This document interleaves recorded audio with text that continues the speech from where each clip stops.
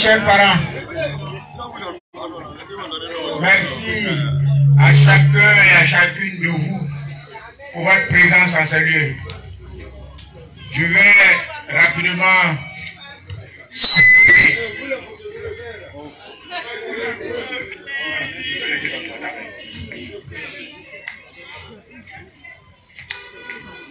je vais rapidement saluer la délégation qui accompagne la VP Marodette. Vous avez Fallon Keita, secrétaire national technique, chargé de la des femmes. Fallon Keita, elle est de la direction du parti. Vous avez Faye Florentine, membre de la direction du parti. Vous avez Kourou Baris, membre de la direction également du parti. Vous avez notre ami Badé Benjamin. Badé, vont te saluer. Il est le directeur de cabinet du RGA Nestor.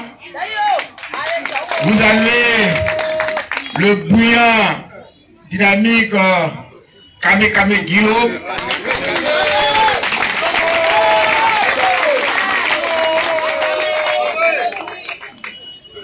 Ce sont ces camarades-là qui aujourd'hui accompagnent notre maman, la VP Barodette.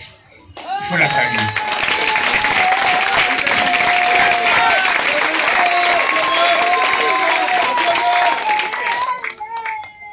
Vous-même, vous savez que cette femme mérite respect. Vous savez qu'elle mérite considération. Vous avez vu ces derniers jours des gringaleux tenter de l'intimider. Vous les avez vus? Des gens se sont invités à son domicile. Des jeunes gens, en fait, qui ne savent pas les raisons de leur résistance sur cette terre-là, se sont invités à son domicile avec un esprit de vouloir la perturber. J'ai eu de la compassion pour ces jeunes-là. J'ai eu de la pitié pour ces jeunes-là. Parce qu'en en vérité, quand j'ai regardé leurs vidéos, quand j'ai écouté leurs messages, la façon dont ils s'adressaient à cette euh, brave, dynamique dame qui a traversé le feu, qui a traversé les épreuves, et qui n'a plus à intimider. Quand je les ai entendus, j'ai dit à mon ami Daï, en temps normal, ce qu'on peut faire pour ces jeunes, c'est de mobiliser des psychologues pour venir à leur secours.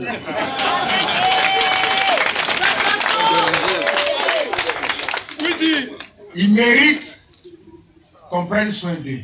Parce qu'au RHDP, ils animalisent les gens. Ils abrutissent les gens. Or, ces jeunes qu'ils ont envoyés chez Marodette ont besoin d'un scandaliste pour voir s'ils sont en bonne santé. Parce qu'ils ne sont pas en bonne santé moralement. Mais bref, je voudrais saluer notre ami qui vient du blindé. Cher ami du blindé, saluez-le. Je voudrais saluer et je veux qu'on le salue avec respect. Notre ami du blindé, il faut le saluer. Merci, cher ami. Il vient du blindé. Il vient du blindé de la Maca. Merci, cher ami. À la Maca, il y a plusieurs bâtiments. Il y a bâtiment A, il y a bâtiment B, il y a bâtiment C, et puis il y a le bâtiment des assimilés. Mais il y a le bâtiment des blindés. Quand on t'envoie au blindé, c'est c'est le sous-sol de la Maca. Au blindé, tu es exposé à l'eau, tu es exposé au soleil, parce qu'au blindé, il n'y a pas de toit. Et quand il pleut, tu accueilles la pluie. Et quand il y a le soleil, c'est ça que le blindé. Et notre ami vient du blindé, il faut le féliciter. Il faut le saluer. Mais pourquoi il vient du blindé? Pourquoi il vient du blindé? Et c'est là, si tu veux te rendre compte, si tu veux te rendre compte que le pays est vraiment malade, si tu veux voir à quel point le pays est vraiment malade, il faut de temps en temps écouter les pseudo-intellectuels du RDR. Un prétendu intellectuel du RDR justifiant l'arrestation des amis qui avaient le drapeau russe a dit mais comment le PPACI peut, peut appeler à une mobilisation de ses militants et puis il distribue des drapeaux russes à ses militants? Mais cela justifie que la police euh, s'intéresse de près à ce qu'ils sont allés faire. Et ça, c'est un pseudo intellectuel qui l'a dit. Il s'appelle Sissé Bakongo. Si vous voulez voir à quel point le pays est malade, voyez comment résonne ce pseudo intellectuel. Parce que dans un pays, même ici en Côte d'Ivoire, tu vois dans des bureaux officiels, tu vois des photos d'Obama, photos de Poutine, photos de Macron, des présidents qui ne sont pas, qui n'ont jamais été présidents dans notre pays. Je suis libre de porter le drapeau que je veux. Merci là-bas. C'est pourquoi vous verrez sur des bagages, il y a des bagages qui ont des drapeaux russes. Il y a des taxis qui ont des drapeaux allemands. Il y a des taxis qui ont des drapeaux turcs. Et la police ne les arrête pas. Vous dites retirez votre taxi de la circulation ou retirez votre bagage de la circulation. Nous, ce que nous faisons, nous appelons à une mobilisation, à un lieu. Et puis, la population vient comme elle veut et comme elle peut pour participer à notre meeting. Et comme nous ne distribuons pas de sardines ou de paix, on ne peut pas contrôler ceux qui viennent. Chers amis, chers amis, vous avez vu comment on les a libérés? Vous avez vu comment on les a libérés? Une nuit, on leur a dit, vous quittez ici. Quittez ici. Quittez ici. Et puis on les a mis dehors. Parce que ça fait honte de savoir que dans un pays où il y a une ambassade russe, on peut arrêter des gens parce qu'ils ont porté le drapeau russe. Bref, ça montre combien le pays est malade. Et le même pseudo-intellectuel disait comment la justice convoque un secrétaire général d'un parti et puis il se fait accompagner par des militants au lieu de se faire accompagner par des avocats chevronnés. J'ai dit à mon ami Daï, mais ce monsieur-là aussi, on la besoin de psychologue. Hein? Dirait qu'il doit être dérangé mentalement. Le secrétaire général d'un parti, quand il est convoqué à la justice, c'est normal que des militants s'organisent pour l'accompagner.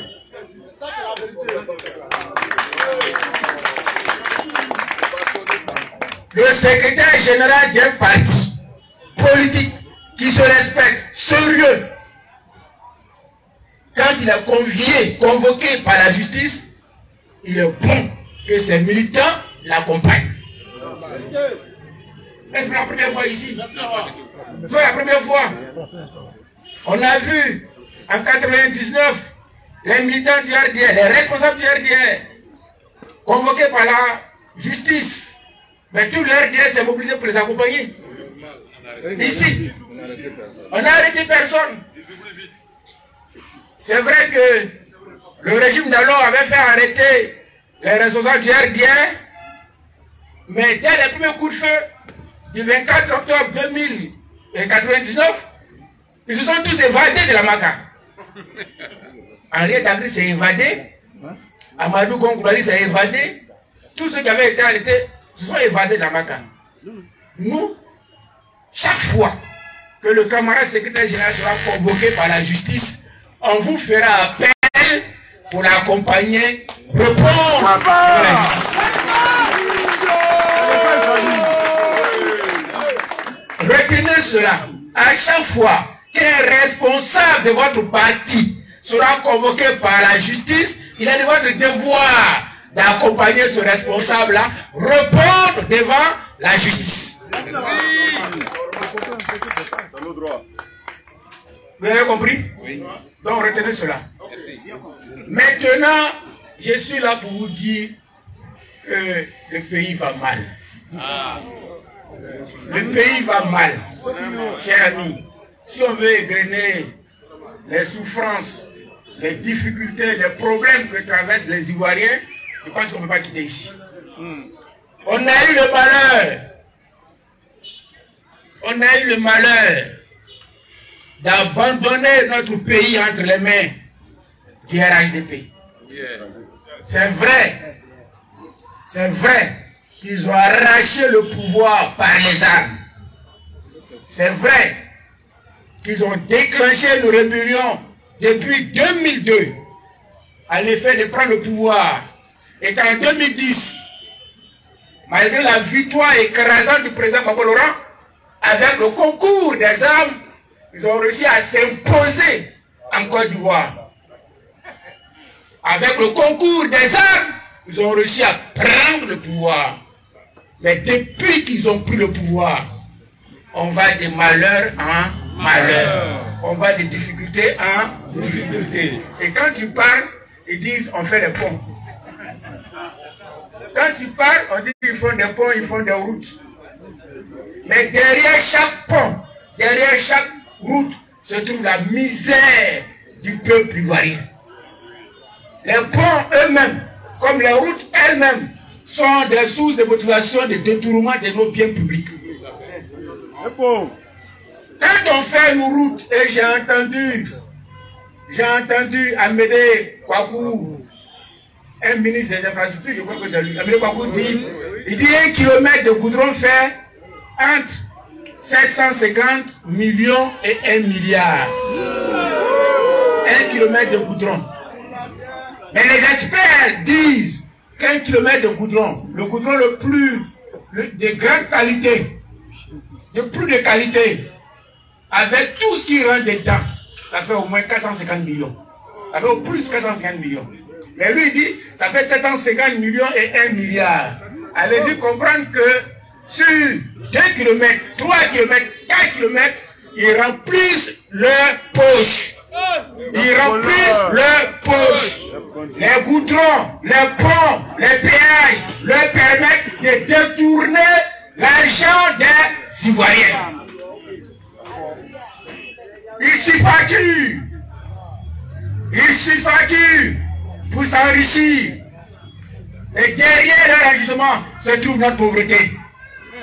Et nous sommes pauvres. De plus en plus, nous devenons pauvres. Et eux, de plus en plus, deviennent riches. La vie est chère. On n'arrive pas à manger. Eux, ils s'en foutent. On n'arrive pas à se soigner. Eux, ils s'en foutent. On n'arrive pas à scolariser nos enfants. Eux, ils s'en foutent. On n'arrive pas à se vêtir. Eux, ils s'en foutent. Et chaque week-end, ils sont assaini. Ils sont à Liboulet. Ils sont partout pour faire la belle vie. Pendant que nous mourons. Nous mourons de faim. Nous mourons. Nous mourons par manque de soins. C'est de cela qu'il est question. Et la vie est devenue dangereuse. La vie est devenue difficile pour les Ivoiriens. Et vous assistez, certains jeunes ne pourront plus tenir. Qu'est-ce qu'ils font? Il y a d'autres, tout simplement ce livre suscite. Vous avez entendu? Depuis que la Côte d'Ivoire Côte d'Ivoire, c'est sous M. Draman Ouattara qu'on a enregistré le taux le plus élevé de suicide en Côte d'Ivoire. Et ce n'est pas tout. On voit des jeunes gens pour fuir la galère, pour fuir la misère, pour fuir la pauvreté, emprunter des raccourcis, aller sur l'eau et mourir sur l'eau. Il y a d'autres qui disent qu'ils préfèrent mourir sur l'eau que de vivre en Côte d'Ivoire. Parce que la vie est insupportable en Côte d'Ivoire. Mais si on reste là, croyant que Dieu va faire venir des anges pour nous délivrer, mais on va pleurer. Et on va continuer de pleurer. La délivrance doit venir de nous-mêmes. La délivrance doit venir de nous-mêmes. Et nous sommes venus vous chercher pour que vous compreniez que vous avez votre part à jouer dans le combat que mènent les hommes politiques. Vous avez votre part à jouer. Ce n'est pas seulement l'appareil politique qui critique, qui fait des propositions, mais votre part à jouer, c'est quand vient le moment de la mobilisation. C'est quand vient le moment de la mobilisation. Et le moment de la mobilisation est arrivé le moment de la grande mobilisation pour la délivrance de la Côte d'Ivoire est arrivé.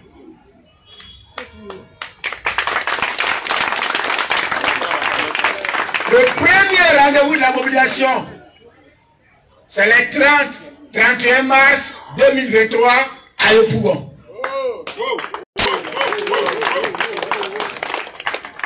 Les 30, 31 mars 2023 à Yopougon.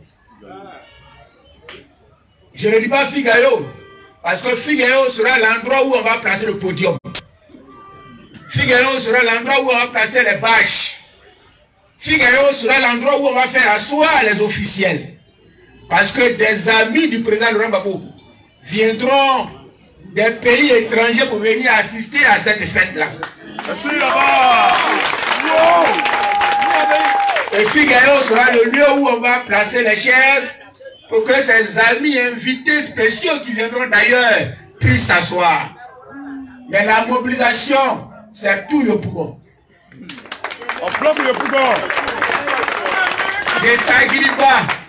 En passant par Jesse Jackson, Kenya, Sipores, Bel Sab, tout ce secteur doit être noir du monde.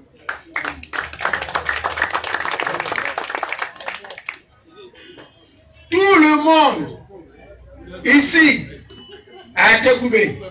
Le président du Parlement, les membres du bureau, tous les responsables de section et de base du PPACI doivent faire en sorte que la population se mobilise massivement pour remplir Yopougon. Et le camarade secrétaire général demande à Picasso a instruit la VP Maro à la mobilisation avec Bakar que le nombre à mobiliser pour Yopougon s'élève à 3 millions de personnes. Vous comprenez bien? 3 millions de personnes. Est-ce qu'on peut? Est-ce qu'on peut? Est-ce qu'on peut? 3 millions de personnes. À Djokoué, en 2019, à Djokoué, on a fait 1 million 500 000 personnes le RFI. Mais à Djokoué, là, le président Babo Laurent n'était pas là. Vous vous rappelez? À Djokoué, au moment où nous partions à Djokoué, on avait espoir que le président Babo Laurent allait être avec nous. On a même annoncé que le président serait à Djokoué et nous sommes allés à Djokwe, on n'a pas enregistré la présence de notre président.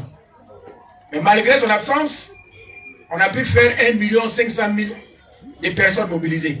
Malgré son absence. À Djokwe, on était triste parce que le président n'était pas là, mais on était triste également parce que à chaque pas que nous posions à Djokwe, on sautait des forces communes. Vous vous rappelez, cette région a connu ce qu'on a appelé le génocide, ouais. Ils ont massacré, ils ont tué, ils ont égorgé inutilement, méchamment nos parents, ouais. Et Adjoukoui était comme le carrefour du rendez-vous de la mort. Plusieurs forces communes à Djokoué. Donc c'est en sautant ces forces communes que nous sommes allés organiser la fête de la liberté à Djokoué. On était pratiquement en pleurs. Parce qu'au fond de ces forces communes se trouvaient nos parents, nos frères, nos amis, nos camarades. Des gens qui ne voulaient que vivre, mais qui malheureusement ont rencontré une rébellion armée sur leur chemin. C'est dans ce contexte douloureux que nous avions organisé Djokoué. Malgré cela, on a enregistré 1 500 000 personnes. Mais aujourd'hui, que Gbagbo le roi est parmi nous, libéré, acquitté, Totalement. totalement, et qui jouit de toutes ses facultés, qui jouit de tous ses droits, est-ce qu'on peut faire 1 500 On peut aller jusqu'à 4 millions. On peut aller jusqu'à 4 millions. 6 millions. Yopougon Yo, Bagbo. doit connaître une grande mobilisation. Et j'ai dit à mes amis, on ne va pas à Yopougon pour une démonstration de force? Nous là, on a trop démontré notre force. On va à Yopougon pour une démonstration de puissance. Merci. On va à Yopougon pour une démonstration de puissance. Ça veut dire quoi? Ça veut dire que le parti politique de Laurent qui est là, là, que vous voyez là, là, qui s'y frotte, s'y pique. Qui s'y frotte, s'y pique. Le parti de Laurent qui est là, là, mobilisé, qui est là, là. Celui qui joue avec ça, celui qui joue avec ça, celui qui joue avec ça, il va enregistrer son propre malheur. Nous partons pour dire au monde entier que celui que les Ivoiriens attendaient depuis près de 15 ans, leur soleil, leur lumière, leur ampoule, leur torche, leur lampe est désormais là. Et qu'autour de lui, et qu'avec lui, nous allons marcher sereinement, sûrement, vers le palais présidentiel pour le faire asseoir sur le palais présidentiel. Par notre mobilisation des 30 et 31 mars, nous allons lancer un message au monde entier pour leur dire, vous aviez eu tort de bombarder ce monsieur, vous aviez eu tort d'arrêter ce monsieur, vous avez eu tort de déporter ce monsieur, vous avez eu tort d'incarcérer ce monsieur, parce qu'en vérité, en vérité, en lui, le peuple a mis toute sa confiance. Nous partons dire, les 30 et 31 mars, à Yopougon, nous allons dire au monde entier que c'est Gbagbo Laurent en qui nous avons mis notre espoir, en qui nous avons confié notre destin. Et c'est lui seul capable, encore voici, de conduire la destinée des Ivoiriens. Et qu'en dehors de lui, en dehors de lui, il y a plein d'autres leaders qui méritent l'attention, qui méritent la confiance des Ivoiriens. Il est le seul, il est l'unique en qui nous mettons notre confiance. C'est lui qui nous conduit, c'est lui qui nous conduit. Et nous partons leur dire, par cette mobilisation, qu'en 2025, avec Babo Laurent, nous allons reprendre le pouvoir d'État. Cette mobilisation-là, c'est une démonstration de puissance. Vous savez la puissance? Le feu, c'est le feu. La puissance, la puissance. Les politiciens qui mobilisent par les sardines, qui mobilisent par les pains, qui mobilisent par les t-shirts, qui mobilisent par les sacs de riz, ne sont pas comparables à Babo. Depuis 1990, depuis 1990, et je parle sous le regard de ces doyens qui sont assis ici, le seul nom, le seul visage, le seul esprit qui mobilise les Ivoiriens du Nord, de l'Est, du Sud, de l'Ouest, en passant par le centre, c'est Gbagbo Laurent. Depuis 90, il n'y a qu'un seul nom qui mobilise en Côte d'Ivoire, Gbagbo Laurent. Le 2 octobre 2002, le seul nom autour duquel les Ivoiriens se sont mobilisés s'appelle Gbagbo Laurent. Le 2 novembre 2002, le seul nom autour duquel les Ivoiriens se sont mobilisés s'appelle Laurent Gbagbo. C'est lui. C'est lui. En dehors de lui, point n'est capable de mobilisation.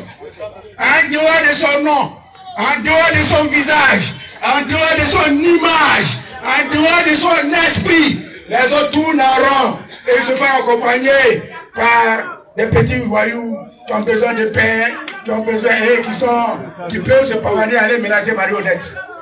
Chers amis, je viens vous dire ce soir que Babo Laurent nous a apporté et le 30 et 31 mars, il va le confirmer. Avec lui, c'est un nouveau soleil qui se lève sur la Côte d'Ivoire. Il y a de l'espoir avec Babo Laurent. Et le 1er avril, et le deuxième grand rendez-vous, c'est le 1er avril. Le 1er avril 2023.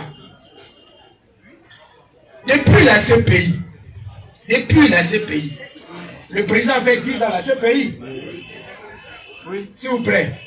Le président fait 10 ans à la CPI. Vas-y, camarade. Le président fait 10 ans à la CPI. Depuis la CPI, il a entendu que les jeunes de Côte d'Ivoire sont désespérés. Ils sont découragés de la vie. Ils sont démotivés, ils sont perdus, ils sont égarés. Ils ont perdu tout espoir. Depuis la CPI, il a entendu que des jeunes gens ne croyant plus à l'avenir se livrent au suicide ou d'autres vont mourir sur la mer. Depuis la CPI, il a entendu que des jeunes qui ont fini leur formation professionnelle ou universitaire, qui veulent s'installer à leur propre compte, n'ont pas d'appui pour faire l'entrepreneuriat. Il a entendu depuis la CPI que dans nos villages, dans les zones rurales, des jeunes n'ont plus le nécessaire pour faire leur champ, ni d'engrais, ni d'insecticides. Les jeunes sont livrés à eux-mêmes. Il a entendu depuis la CPI que les jeunes sont réduits à la mendicité. Il a vu depuis la CPI que le régime RGP n'offre que de l'aumône aux hommes. J'ai vu qu'on donne 36 000 francs par trimestre à des familles, à certaines familles tirées sur le volet. 36 000 francs par trimestre, c'est-à-dire 12 000 par mois. Alors que l'huile, le riz, la tomate, l'oignon, le poisson, tout a augmenté. Que peut bien faire 12 000 francs pour une famille Pas pour un individu, mais pour une famille. Le président, conscient de tout cela, il a mis une équipe en place, dirigée par Stéphane Dupré, qui a envoyé des missions partout en Côte d'Ivoire pour recenser, recueillir et enregistrer les préoccupations des jeunes. Leurs problèmes, leurs difficultés dans tous les secteurs d'activité, entrepreneuriat, universitaire, scolaire, artisanat, dans tous les secteurs. Les jeunes se sont exprimés, on a pris note, on a reversé toutes leurs préoccupations à Stéphane Tibré, et il a fait un livre blanc, et il a remis le livre blanc au président Babo Laurent.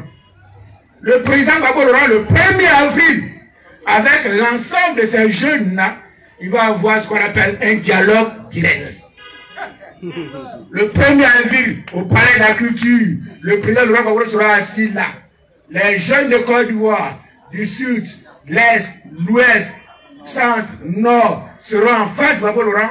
Il va enregistrer leurs préoccupations, il va enregistrer leurs difficultés, leurs problèmes, et comme vous le connaissez, il va dire un mot, un seul mot, pour guérir toute la jeunesse de Côte d'Ivoire.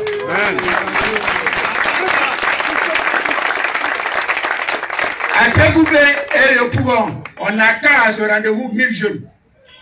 1000 jeunes. Et le Pougon, on attend ce rendez-vous 1000 jeunes. Ce n'est pas seulement les jeunes BBACI, hein. dit les jeunes de tous les secteurs d'activité.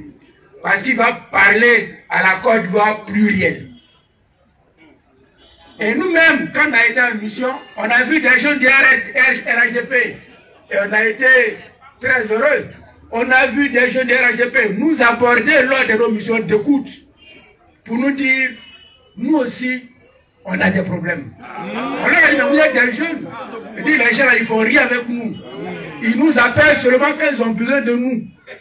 Mais quand on s'en va, on reprend, on leur appelle, on finit, ils ne font plus rien avec nous, ils ne viennent plus à notre aide. Et puis tous les efforts que nous, jeunes du RHDP, du RDN, on a fournis depuis des dizaines d'années, ils se sont nommés entre eux copains, ils ont partagé le pouvoir entre eux amis. De sorte qu'aujourd'hui, c'est un clan qui dirige et nous qui avons donné notre bras, notre poitrine, nous sommes laissés pour compte. On dit, venez, le président a un mot pour vous, pour vous guérir. Chers amis, et c'est sur ça que je termine. La grandeur d'un parti politique se mesure par sa capacité de mobilisation.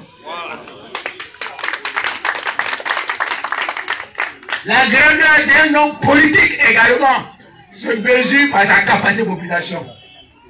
Le 31 mars 2023, il faut qu'on démontre par notre mobilisation que notre babo est différent de leur ado. Il faut qu'on démontre par notre mobilisation que notre Woody des mamas est différent de leur ado de Sendou.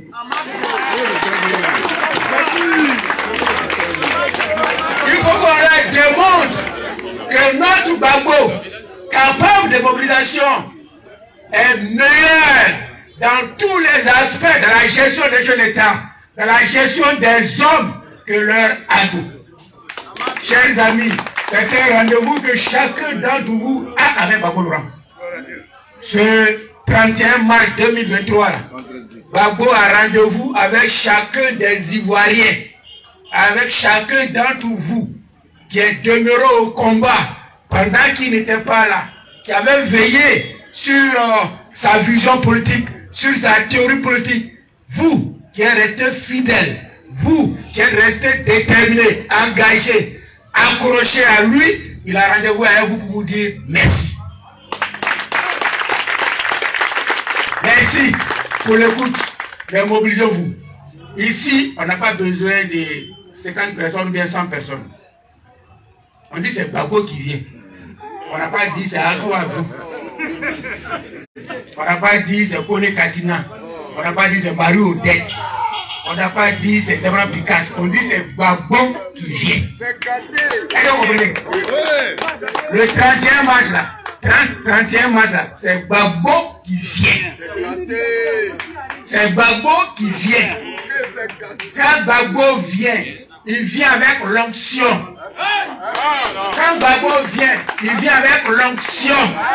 C'est pourquoi, même si tu es malade, viens à ce rendez-vous pour ta guérison.